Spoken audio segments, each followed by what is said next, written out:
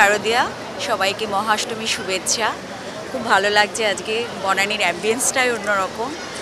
মায়ের কাছে একটাই প্রার্থনা বিশ্ব থেকে যেন করোনামুক্ত হয়ে যায়, আবার যেন সব আগের মতো সাবলীল হয়ে যায়, আমরা যেন মাস্ক ছাড়াই চলতে পারি। সবাইকে শুভ শারদীয়ার শুভেচ্ছা। মার কাছে চাওয়া একটাই, যে বিশ্বে করোনা মুক্ত হোক। এবং বাচ্চারা আবার আগের মতো স্কুলে ফিরে যায়। আমাদের সবাই একটাই আশা, মা যেন আমাদের সবাইকে ভালো রাখে, সুস্থ রাখে এবং এই বিশ্ব মহামারী করোনা ভাইরাস যেন দূর হয়ে যায়, এই একটাই কামনা মায়ের কাছে। পরবার জন্য আরও অনেক বড় করে দুর্গাপূজা হয়, অনুষ্ঠিত হয়, সবাই আসতে পারে, আনন্দ করতে পারে, এই কামনা।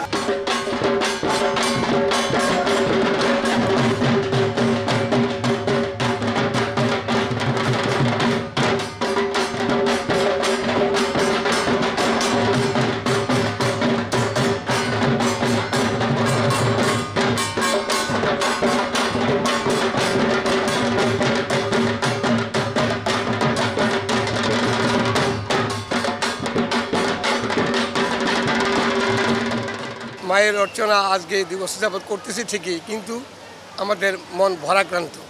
কেননা যে অত্যন্ত মহামারী, করুণা, তার জন্য আমাদের মনে একটা শান্তি নাই, জাকজমক করতে পারছি না, মানুষের সমাগম সমাগম করতে পারতেছি না, আমাদের বিভিন্ন সমস্যা থাকাতে আমাদের কোনো রকমে গত বছর পূজাটা আমরা মানে করি এবং মায়ের চরণে পুষ্পাঞ্জলি দিয়ে দিছি।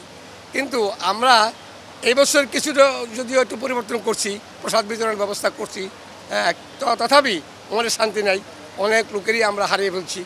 হ্যাঁ, কারণ এখানে হিন্দু মুসলিম খ্রিস্টান সবারই হ্যাঁ ধর্ম বর্ণ নির্বিশেষে সবারই যে করুণার সবলে তারা যারা পরে প্রাণ হারাইছে প্রত্যেকের জন্য আমরা তাদের আত্মার কাম- সদ্গতি কামনা করছি এবং অদূর ভবিষ্যতে যাতে আমাদের এখানে এরকম কোনো মহামারী না আসে তার জন্য মার কাছে আমরা প্রার্থনা করি। গতবারে অনেক বেশি ভীতি ছিল যার জন্য অনেক সংকুচিত আয়োজনে করেছি।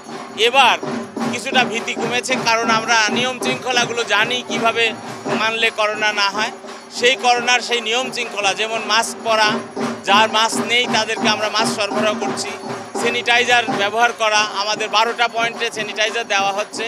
এই ধরনের নিয়ম নীতিগুলো মেনে আমরা যতটুকু পারি আমাদের কার্যক্রমকে সম্প্রসারিত করেছি এবং আরেকটু নান্দনিক উপস্থাপনার চেষ্টা করেছি।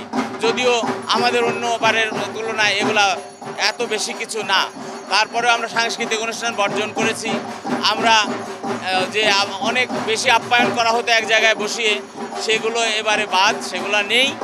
শুধুমাত্র আমরা প্যাকেট প্রসাদ বিতরণ করছি। পূজার আয়োজনের মূল উদ্দেশ্যটা হচ্ছে সাম্প্রদায়িক সম্প্রীতি বজায় রেখে সমস্তের মধ্যে চলা। তা সবার সঙ্গেই তো আমরা। গত দুটো ঈদ আমাদের মুসলিম সম্প্রদায় কিছুই করতে পারে নাই, আমরা তো একটু সুযোগ পেয়েছি করার। এই জন্য সীমিত আকারে আমরা পূজা করছি, যাতে সবাই একটু আনন্দ করতে পারে। এবং আমাদের প্রার্থনা একটাই যে এই পৃথিবী থেকে করোনা মুক্ত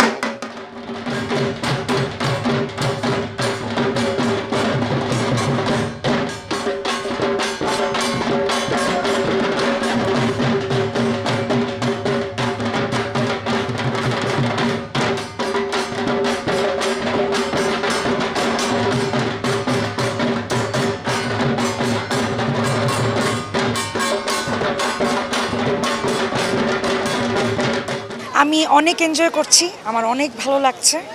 এভরি ইয়ার সবসময় এই বনানী পূজা মণ্ডপটাতে আমি আসার ট্রাই করি উইথ মাই ফ্রেন্ডস আজকেও আমি এসেছি আমার কাছে খুবই ভালো লাগতেছে।